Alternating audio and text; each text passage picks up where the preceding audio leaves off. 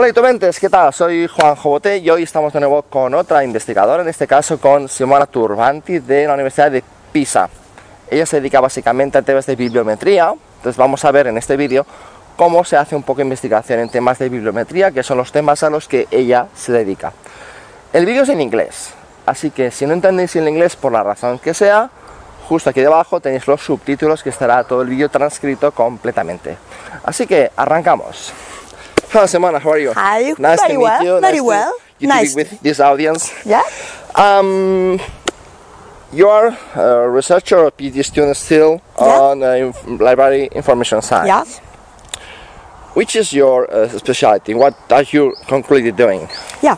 Uh, I began with cataloging. That is the traditional topics for librarian, for all librarians, I Cataloging. think. and I think also um, the, a good knowledge in catalog is the heart of our profession, librarianship. Uh, but with the PhD, I did it uh, later.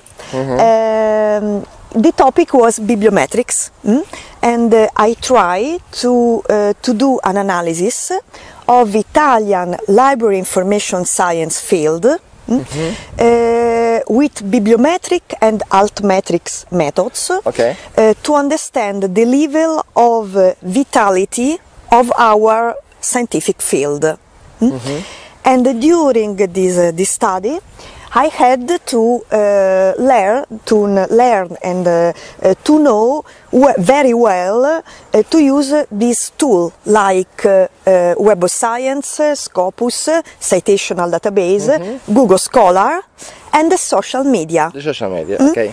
About Google Scholar, you have a video here on the top about how does Google Scholar work. This video is in Spanish, so you can check it. I have another question. Um, I have not started to talk about altmetrics on my channel. Could you explain us just in two seconds Yeah. what is altmetric, what consists of? Uh, a metric is a way to measure uh, the research assessment.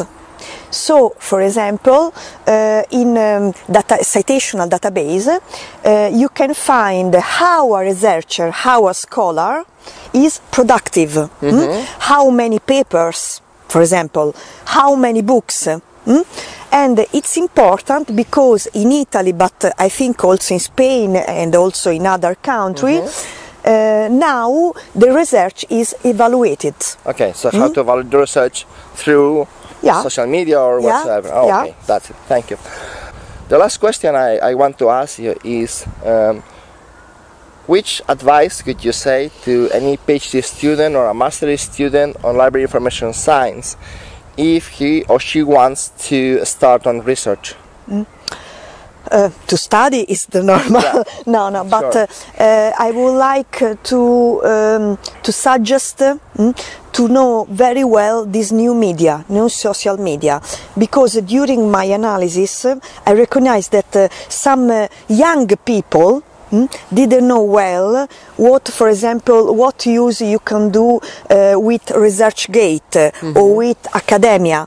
And I think it's very important to begin uh, uh, to use this tool mm, uh, to spread our knowledge, our product of Yes, research. to disseminate in certain ways our production. Yeah, yeah, yeah. Because it's very important for uh, the future that uh, they, they will have like uh, scholars, Yes. but also for our field. It's very important for me. It's vital. Yeah, to promote especially Yeah, your Pr- field um, and, and probably in Italy, uh, researchers of this particular field are not so active uh, Mm-hmm. in this channel, and uh, for me, uh, it's our fault. Okay, thank you very much. Thank you to you. Bueno, esto es todo por hoy. Dejad vuestros comentarios justo debajo del vídeo. Nos vemos en el siguiente vídeo. Hasta pronto. Adiós.